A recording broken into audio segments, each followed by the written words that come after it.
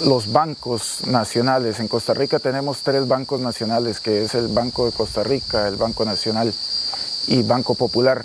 Son entidades del gobierno, entidades financieras que pueden dar ayudas económicas a través de créditos, a través de fideicomisos para el desarrollo de comunidades. Son, eh, es un sistema fácil de financiamiento, se necesita aprobación de parte de, por parte de presupuesto de la municipalidad, en caso de ser municipalidad, como es el caso de Cóbano, que tiene una, una estructura municipal, la cual puede venir a nuestra oficina, Banco Nacional, buscar financiamiento a través de un fideicomiso eh, para pavimentar las calles, que es lo más necesario.